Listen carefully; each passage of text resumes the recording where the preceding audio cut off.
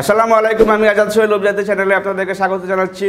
আমরা সবচাইতে বেশি যে দেশের কাজ করে থাকি বা যেভাবে আমরা কাজ করে থাকি, তার ভিতরে হচ্ছে মালয়েশিয়ার কাজ সবচাইতে আমরা বেশি করে শুরু করেছি এবং যেগুলো হচ্ছে যে আমরা এই চ্যানেলটি শুরু করেছিলাম মালয়েশিয়ার কাজের জন্য আপনাদের কাছে আমন্ত্রণ জানিয়ে সুতরাং আপনারা জানেন যে আমরা কি পরিমাণে হচ্ছে যে মালয়েশিয়ার কাজ করেছি এবং আমরা যেই যেই ক্যাটাগরির ভিসা করার জন্য ভিডিওতে আমরা করেছিলাম অলমোস্ট সবগুলো কোম্পানিতেই আমাদের কিছু হলেও লোক গেছে এবং আরও কিছু ভিসার কাজ আছে যেগুলোতে আপনারা খুব ইজিলি যেতে পারেন এবং সেটা হচ্ছে যে আগের তুলনায় অনেক কম সময়ের ভিতর যেতে পারেন।